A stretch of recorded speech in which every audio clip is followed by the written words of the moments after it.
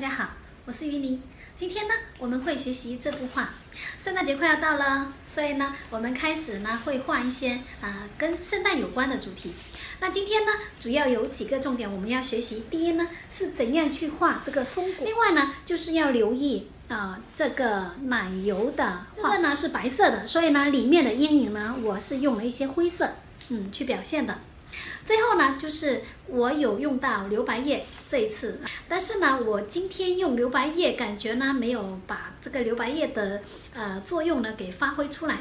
那以后呢，如果有机会呢，我再尝试多用留白液的时候有什么感受呢？有什么心得呢？都欢迎在下面呢给我留言。好了，那现在呢，我们开始进入主题吧。